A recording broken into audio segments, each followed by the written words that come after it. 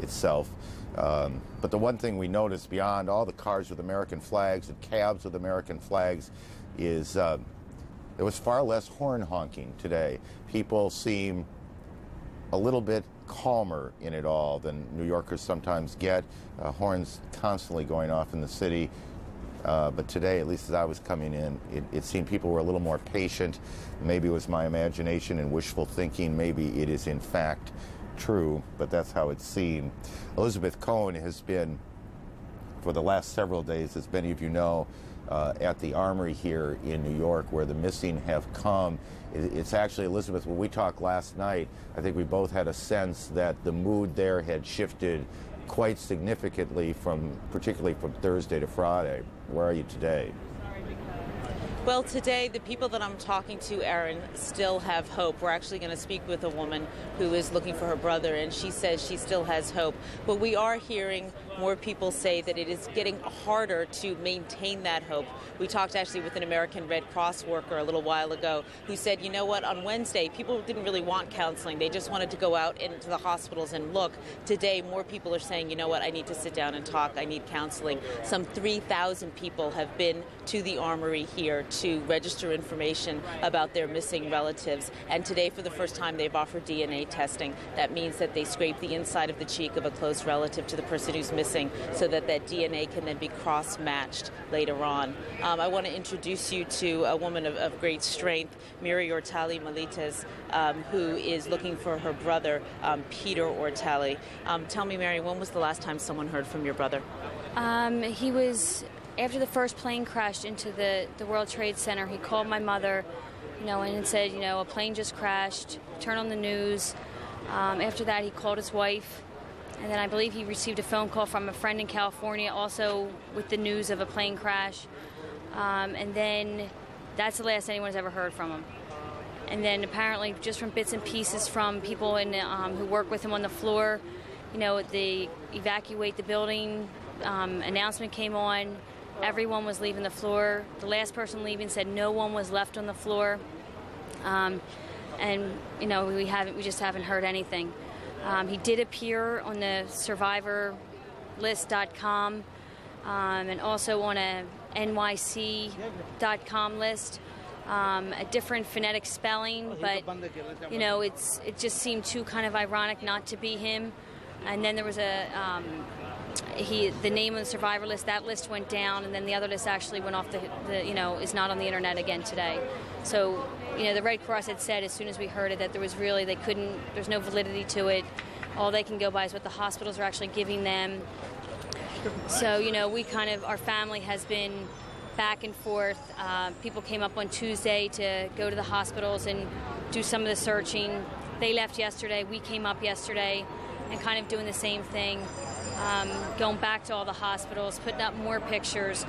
I mean, just in the hope that, you know, if you took the stairwell with him, if he was if he was next to you, did you see him? Was he helping somebody? You know, him and um, one of his good friends, Dennis McHugh, his boss, Eddie Mardovich.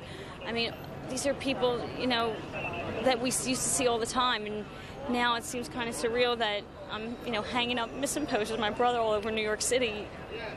It's, it's just, it's unbelievable it's, but we do. We still have hope. You know, I ran into a lot of. Um, I ran into two doctors last night who said you have to continue to have hope. You know, they're they're getting through all that stuff. You know, every minute, every hour down there. You know, and telling how hard all the people are working down there. So, I mean, we're hopeful. We, we still are. We really are. Thank you. Thank, Thank you, Mary. You so much. Mary, who is one of the thousands who is looking for lost relatives here, looking at the armory on the corner of 26th and Lexington. Aaron? I, I, uh, I, when people talk of their hope, it's, it's very moving. I wonder if, at times like this, if th- there's a terrible, this, I don't mean this to sound cold, there is a terrible uh, sense of helplessness here. Uh, someone you love a lot is gone. You need to go someplace, do something to shake yourself of the helplessness. And I wonder if some people are coming down just to be with others who are in their situation. Well, you know, it's interesting because the counselor who we talked to earlier said a woman who was looking for her husband said, I'm here because if I go home, I will feel as if I have given up on looking for my husband. But I think it is more than just wanting company. There was a gentleman we talked to who was looking for his brother, Pablo Ortiz. He saw on a list that an Ortiz was listed as being at a hospital way up on the Upper West Side, and he ran, got in the cab, went and looked, and it was the wrong Ortiz. So there are some leads that people are trying to follow. Elizabeth, thank you. Elizabeth Cohen at the Armory, to Washington. Judy.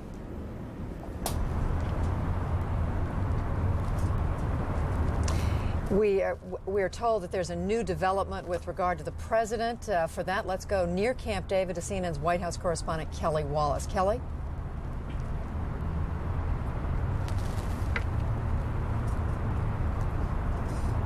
You know, all day we've been talking about how Mr. Bush has really sort of stepped up his language. For the first time, he is now saying that the U.S. is at war and that he is not going to be satisfied with just a token response, but with what he calls a sweeping and effective campaign.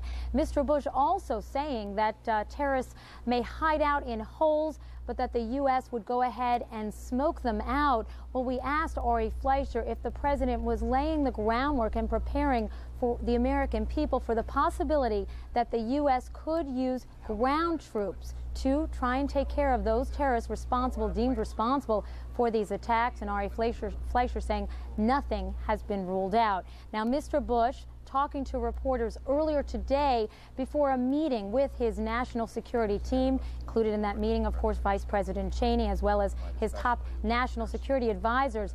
And before he uh, that meeting got underway, Mr. Bush using some of the same words his father used when he announced the uh, backing for the Persian Gulf War 10 years ago. Mr. Bush saying that this act will not stand.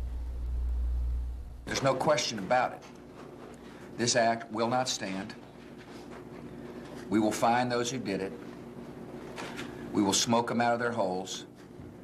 We will get them running, and we'll bring them to justice. We will not only deal with the, those who dare attack America, uh, we will, we will deal with those who harbor them and feed them and house them. Make no mistake about it underneath our underneath our tears is the strong determination of America to win this war. And we will win it. One other thing that President Bush did today, for the very first time, he named suspected terrorist Osama bin Laden as a, quote, prime suspect. He also said that if bin Laden thinks that he can keep away and hide out from the U.S., and its allies. He was, quote, sorely mistaken. Now, Judy, as you know, U.S. officials not talking about any military options that this administration will be considering, but we do know the president spending the weekend at the presidential retreat at Camp David, meeting with his national security team, discussing a range of options, political, economic, and, of course, military options, again, to deal with what he calls a sweeping and effective campaign against terrorism. Judy? All right, Kelly Wallace uh, reporting near Camp David. The president today saying this will be a different kind of conflict against a different kind of enemy. Joining me now, Peter Bergen, who is writing a book on Osama bin Laden. Peter, I just want to cite something else the president said today. He said it's it's a not, it's a conflict without battlefields or beachheads, a conflict with opponents who believe they are invisible and yet they are mistaken. Uh, do they believe they're invisible, Peter? Well, they're certainly in a country that they know intimately well and the United States knows very little about. The United States closed its embassy in Afghanistan in 1989. We don't have any information uh, on the ground uh, about the situation there, really. We have to rely on other uh, people like the Pakistanis for information. So if you're, to, if you're considering a ground campaign in Afghanistan, you're going into one of, A, one of the most inhospitable places in the world, B, a place bin Laden knows intimately well because he's been there on and off since 1986, and C, a place we have very little information about. Let me ask you about the neighboring country of Pakistan. As, as you know, the president, the administration has laid down, a, thrown down the gauntlet, in effect, to Pakistan and other countries, saying you're either with us or you're against us. Here are specific things we want you to do, and you're either on our side or you're not. My question to you is how likely is it that Pakistan is going to go along with some of these things? I think the Pakistani leader, General Musharraf, is in a very difficult position. Um, he obviously wants to go along with the United States. Uh, Pakistan has traditionally been an ally of the United States, but you've got to remember that Pakistan, uh, Osama bin Laden is a very popular man in, in Pakistan. Uh, it's a common first name now for sons, Osama. You see Osama bakeries springing up.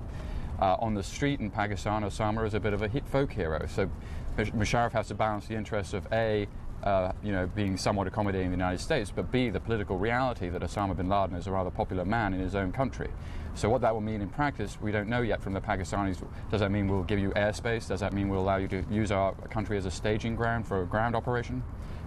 Airspace. All right, let's talk about st staging. Are there bases already in Pakistan that the U.S. could use if it decided to go after uh, bin Laden and his people in Afghanistan? Uh, there are there are bases. I mean, actually, an interesting historical note. Gary Powers, remember the U-2, the, the, the, pilot who was shot down by the Russians in '62, took off from a, a, a, base inside Pakistan. So there are plenty of air, air, air bases near the border that one could use. Uh, I just think it's it's going to be politically very hard for uh, Musharraf to kind of sign on to that. But if he doesn't, uh, he must know there are consequences.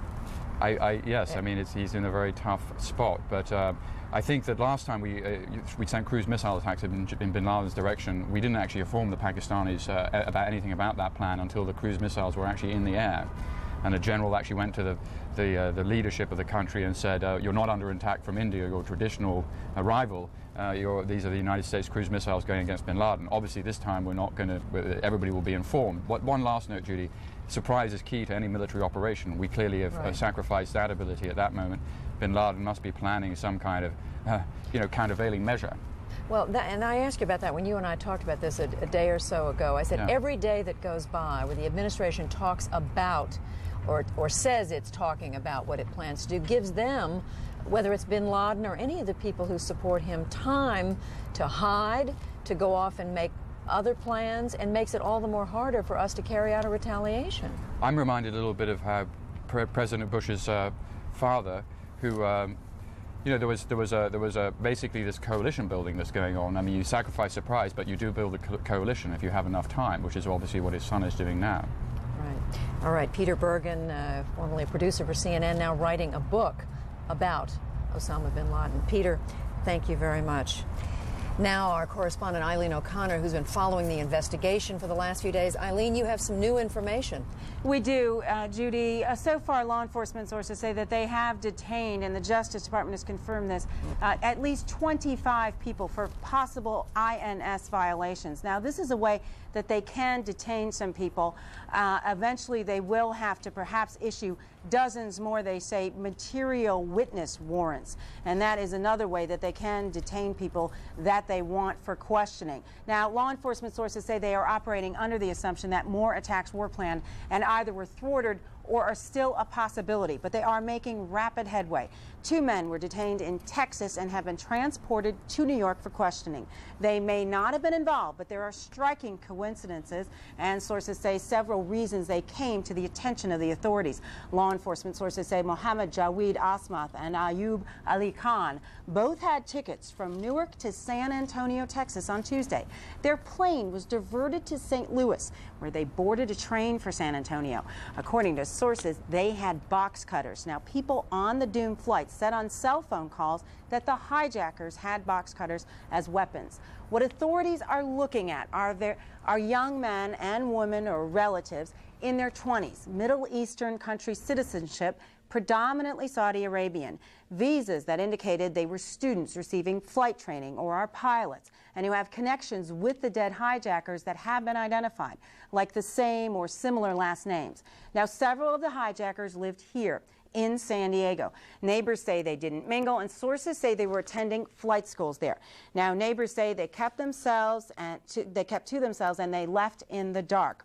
Uh, the neighbors also said that they were on cell phones and used laptops, uh, and they looked to be uh, laptops with complicated programs. Several law enforcement sources say they had been looking at a man near Boston this summer. In his apartment, they found flight manuals, information on Boeing aircraft, and what appears he also appears to have been attending flight school. They will not say whether that man is in custody here or overseas. Interestingly, my, uh, Judy, the several sources have pointed me to testimony in the trial of the embassy bombing, where people linked to bin Laden talked about members of his organization receiving flight training. FBI Director Robert Mueller admitted if authorities had looked at this